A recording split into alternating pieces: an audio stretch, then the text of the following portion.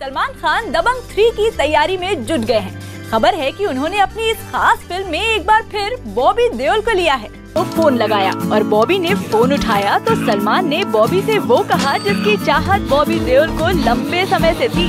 सलमान पूछे और कोई इनकार कर दे ये कैसे हो सकता है? लिहाजा बॉबी देओल तुरंत तैयार हो गए।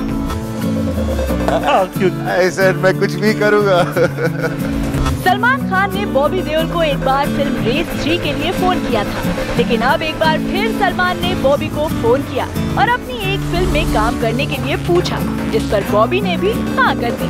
खबर है कि सलमान ने अपनी अगली फ़िल्म दबंग थ्री में बॉबी देओल को लिया। चर्चा है कि उनकी इस फ़िल्म में बॉबी देओल का रोल खास रहने वाला है।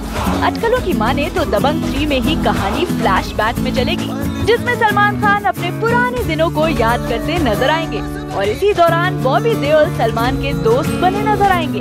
इससे पहले भी सलमान खान ने ही बॉबी देओल के टूटते करियर को उठाने की कोशिश की थी और उन्हें फ़िल्म रेस थ्री में काम दिया था।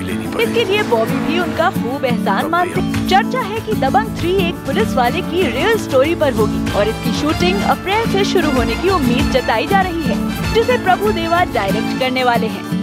फ़िल्म में सोनाक्षी सिन्हा भी नज़र आएँगी, लेकिन चर्चा है कि इस बार उनका रोल पहले के मुकाबले काफ़ी छोटा कर दिया गया।